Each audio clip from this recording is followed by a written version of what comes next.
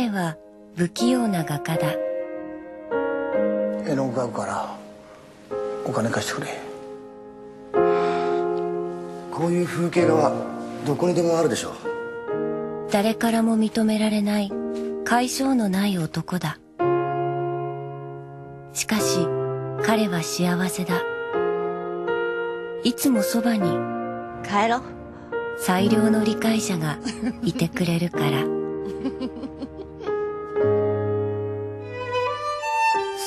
ごいなあこの絵は。マチス君これ差し上げよう。巨匠からいいもんもらっちゃったな。あ坊ちゃん他のところで書きなさい。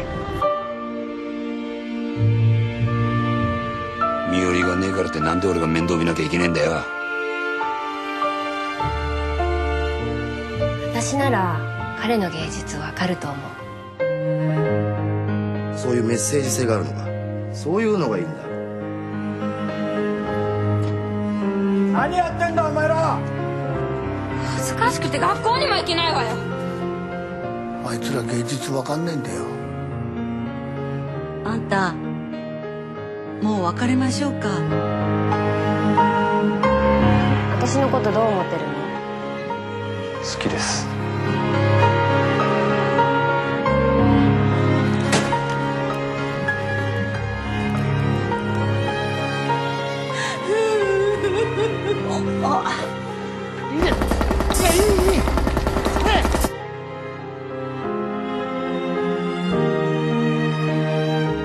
何やってんだお前ら